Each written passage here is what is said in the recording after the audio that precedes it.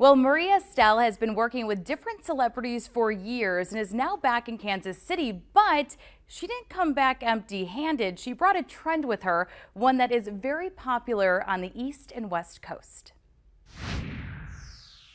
How much time do you spend on your eyebrows every day? Do you wish they were just a little bit fuller? Well, if you do, you're in luck. We're here at Maria Estelle Brows and Skin to learn about microblading. Have you heard of it? It may change your life. What is microblading?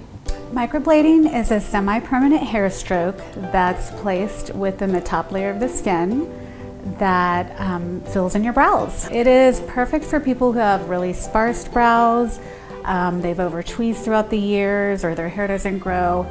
It's the most natural way to enhance your brows. I have blonde, sparse eyebrows naturally and was filling them in every day. Even if I didn't want to do my makeup completely, I felt like it was necessary to fill my eyebrows in because they were non-existent.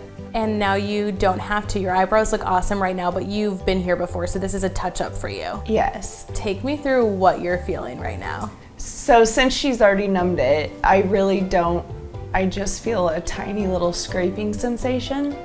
It's not painful at all at this point. I can hear a scraping sound more than I can even feel anything. After you did it the first time, how long did it take for them to almost heal? I would say 10 days to two weeks. If they're wanting that dark tattoo look, that this is not the way to go. Okay. Um, even though you are dark for the first 10 days um, as you're healing, the whole goal with microblading is that they heal and they look natural. I mean, it looks like hairs. If I look really, really close and separate the hairs, I can see little strokes, but they, they truly look like hairs. What should you look for when you're going in for these consultations with different people? Okay, the main thing I would look for is how many years have you been doing brows?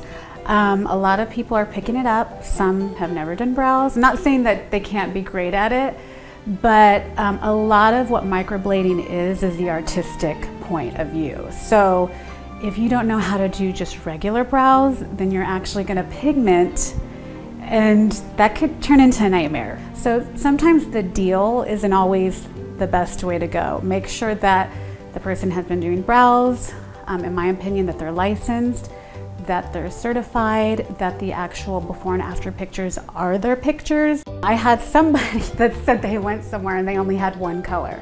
That's a red flag. You must leave immediately. They should have several colors because everyone has different tones, different hair colors. So yeah, that was that was a huge red flag. Can you imagine not having this?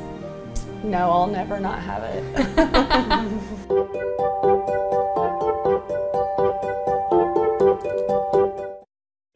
I was shocked by what that looked like. Now get this, these eyebrows actually last for a year to a year and a half. So something worth mentioning and that's pretty cool. Imagine not having to wake up every morning and do your eyebrows. Also, listen to this. Maria says that if you have tattooed eyebrows, microblading may not work. So you want to ask questions about that too. Christine.